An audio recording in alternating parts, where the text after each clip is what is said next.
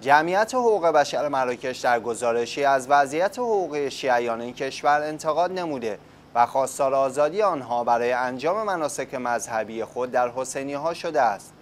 به گزارش شیعه و نقل از فعالان مراکشی این مرکز در گزارش خود که مربوط به سال 2018 میلادی ساورده شیعیان حسینیه ندارند و از هیچ حقی برای انجام مناسک خود برخوردار نیستند و وضعیت در مورد آنها به حدی رسیده که ورود آنها به پارلمان جرم محسوب می شود. جمعیت حقوق بشر مراکش با اشاره به اینکه مقامات این کشور با احتیاط و تردید در قبال شیعیان مراکش رفتار می کنند افزود علیرغم اینکه آمارهای رسمی در خصوص تعداد حقیقی مراکشی های شیعه شده وجود ندارد اما گزارش آزادی های دینی صادر از وزارت خارجه آمریکا حاکی است که تعداد آنها رو به زیاد است